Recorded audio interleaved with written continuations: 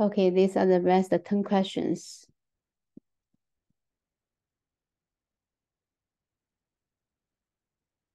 Let's see 81. Again, solve radical equations. So we see both sides. We have a radical form. Hmm. So we just square both sides. Right, we square both sides, square, square root, cancel. We have 5x plus 4 equals to 2x plus 25. Subtract 3x on both sides. Subtract 4 on both sides. Subtract 2x on both sides, we get 3x. Subtract 24 on both sides, we get 21. So x equals to 7. Mm-hmm. So it's rest 7 here. 7. The answer is 7. Let's say 82. 82, we have a radical form, but this radical form was multiplied by 4. Then we have 16. So let's move this 16 to the other side first. 16 positive, so move to this side becomes negative. Or you can think minus 16 on both sides. 24 minus 16, we get 8. Right. Well, 4 radical square root of x minus 4 equals 8. Now we can divide both sides by 4. We divide these sides by 4, this becomes 1. Divide 8 by 4, we get 2. So we have radical x minus 4, square root of x minus 4 equals to 2 now. Square both sides. We simplify, we, so we simplify the equation first. Once we simplify to the ideal form, we single out the radical radical term. We square both sides, we square both sides. Square square root cancelled, we get x minus 4 equals to 2 square, which is 4. We add 4 on both sides, so the answer is 8. This is 8.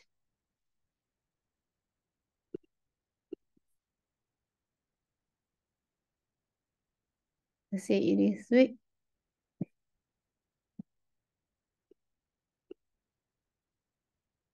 So complex numbers, right? Remember complex numbers will have the form A plus BI, I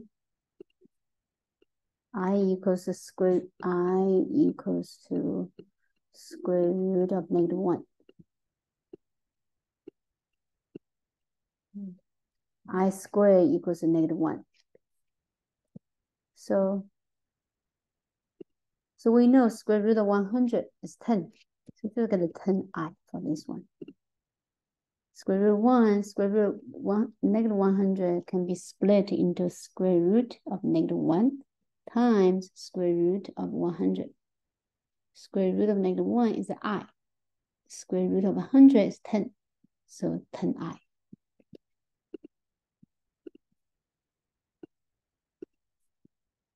Square root of negative 1 is i. So we know this is, we have i. Then square root of 125 125 is a 5 raised by 3. So 5 cubed is 25. So 125 is 25 times 5. Square root of 25 is 5. So square root of 125 is a 5 radical 5. I.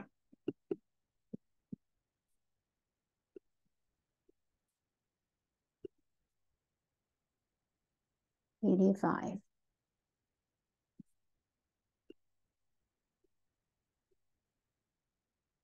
So we're adding, so we have these complex numbers, we're adding two complex numbers. How do we add two complex numbers? We have A plus B form, BI form. So we add real part with real part, imaginary part with imaginary part. So 11 plus 2, that's 13. Then we have minus AI plus 6i. If i is confusing, you could think about, you could think like negative ax plus 6x, right? That would be negative 2x. Same thing here, be negative 2i. So adding those two complex numbers, get another complex number. It's 13 minus 2i. You can also subtract two complex numbers. We do the same. We subtract real numbers with real numbers, complex numbers with complex numbers, you know, like like terms. So 11 minus 2, that's 9.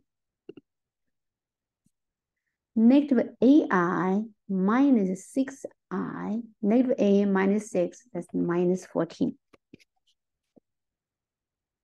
So that's minus 14i. So subtracting those two with 9 minus 14i.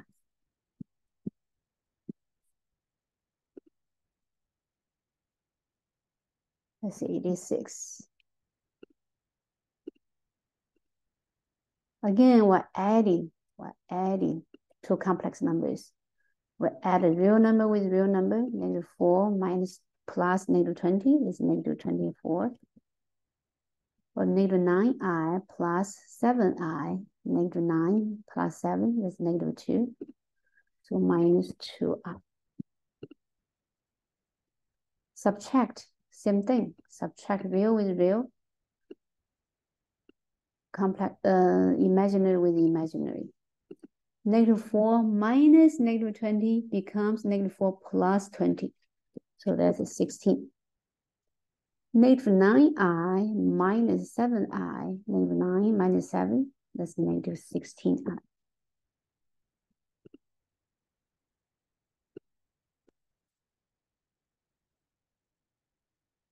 87.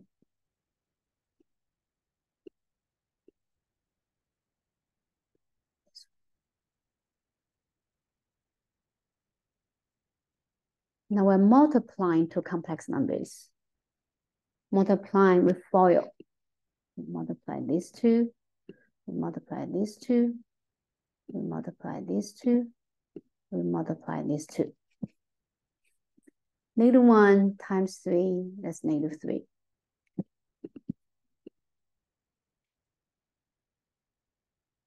Then negative 3i times 3i, that's negative 9 times i squared. i squared is negative 1, so that becomes plus 9. Negative 3i times 3, that's negative 9i. Negative 1 times 3i, that's negative 3i. So simplify. Negative 9, negative 3 plus 9, that's a 6. Negative 9i minus 3i, that's negative 12i. Right. So how do we answer this? So this is asking the real number a equals to 6. The real number b, oh, hold on or a plus bi form, right? a plus bi form. The real number b is negative 12. So this is asking a, so that's 6 is a. b, b is a number before i. b is a number before i, so that, that's negative 12. Similarly for 88, right? We multiply those two, we multiply those two, and we multiply these two, we get an item.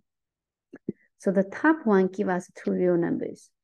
Negative 3 times negative 2, that's positive 6. Negative 3i times 3i, that's negative 9i squared, right?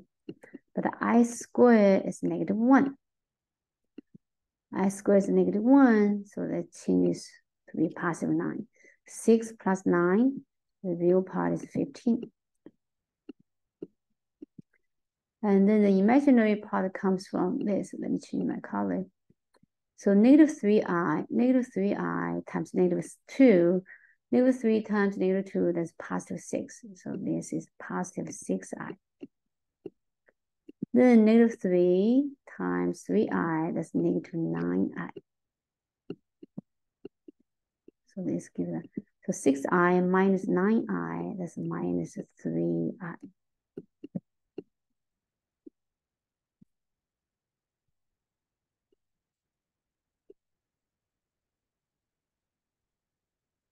Okay, last two questions. Yes.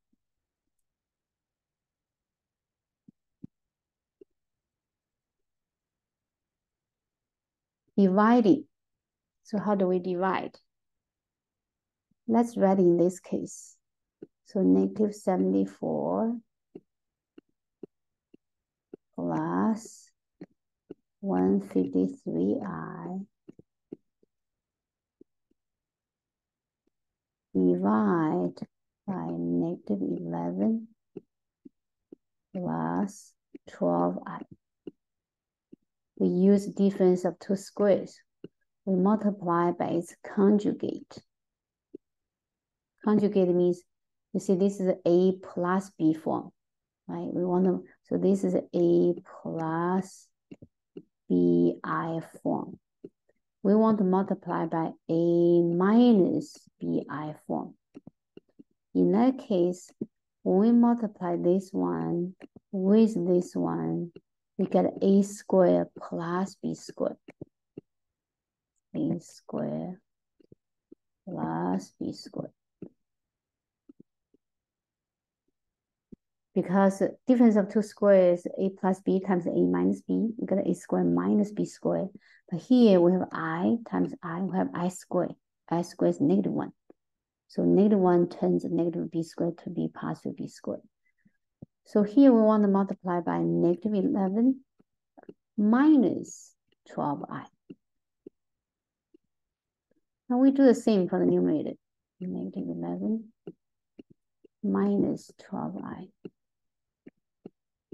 So the denominator gives us right away negative 11 squared, which is a positive 121, plus 12 squared, which is 144. Then the numerator, we should have three terms. Okay, the numerator we multiply, let me change my green color. We multiply this one with this one, real one with real one, the imaginary with the imaginary one, then these two, then these two. Okay. Negative 74 times negative 11, negative times negative become positive. So 74, 74, that's, that's 824. So get 824 big numbers. You can use calculators, okay? Then 153i times negative 12i, right? It seems to be positive times negative to be negative, but we have i squared here. We have i times i, i squared, i squared to the negative to be positive.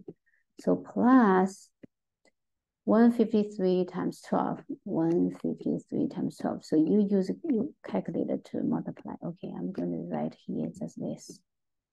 Then you write those, you combine those two numbers. You use calculator, you combine those two numbers. Then the item, the imaginary part, comes from 153, let me change my color. 153, 153 times negative 11, so minus 153 times i times 11 i. Let's write i in the back, in the back of i. Okay, let's multiply. Then we have this term, negative 74 times 12i, right? Negative times negative become plus, plus 74 times 12i. Let's see what do we get in the end.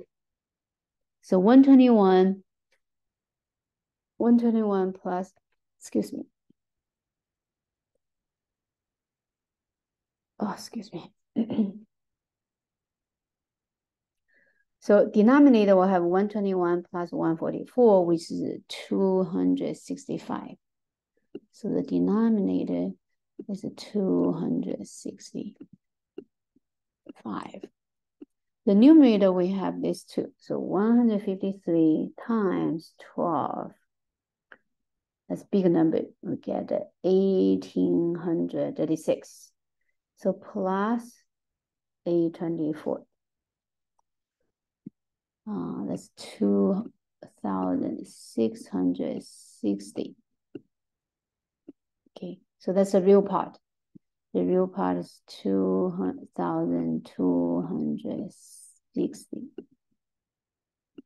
Oh, we see actually those two numbers can be simplified. So can be divided by 5, right? 2,660 divided by 5, we get a 532. So let me write down here. 532 divided by 265 divided by 5, which is 53. So that's a real part. Then the imaginary part we have negative 153. Well, let's calculate. 153 times 11. This one, which is a negative, because negative times positive is a negative. So this one get negative 1,683i. Then plus 74 times 12. 74 times 12 this one is positive. So which is 880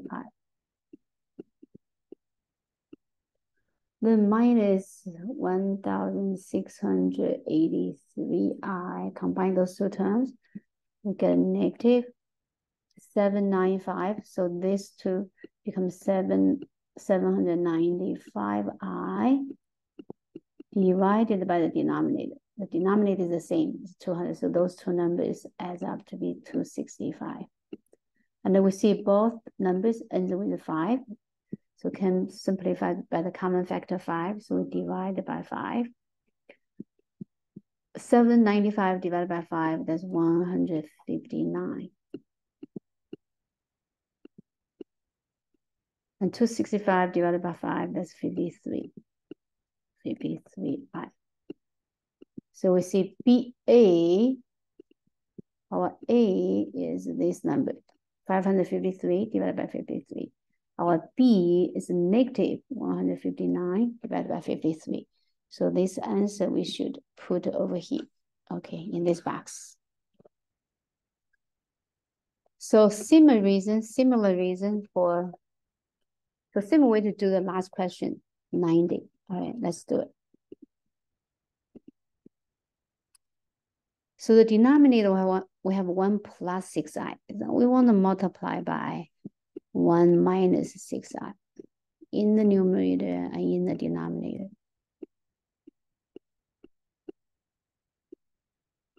And right away, the denominator will get a 1 square plus 6 square. 1 square is 1, 6 square is 36. So the denominator is 37. 36 plus 1, 37. Right, then the numerator real part will have 1 times 5. That's 5. Negative 6i times i, that's negative 6i squared, which is positive 6. 5 plus 6, that's 11. So the real part is 11 over 37. The imaginary part comes from the smiling face, comes from multiplying these two, negative 30i. These two just i. Negative 30i plus i, that's a minus 29. 29 divided by the same denominator, 37. i. i. So the real part is 11 over 37. The imaginary part is negative 29 over 37. All right, so so so far I have um showed my way solving those 90 review questions for exams three. And hopefully I did not make serious mistakes. If I do, let me know. All right. And uh, Monday, so tomorrow, I'm going to, tomorrow, let me see, so tomorrow is review day. Yes, suppose so, right? Let me double check.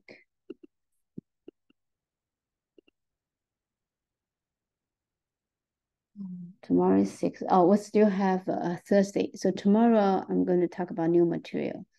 And the nine,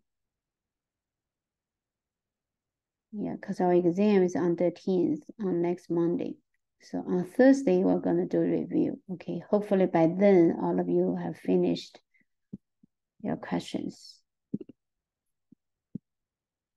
All right, that's it.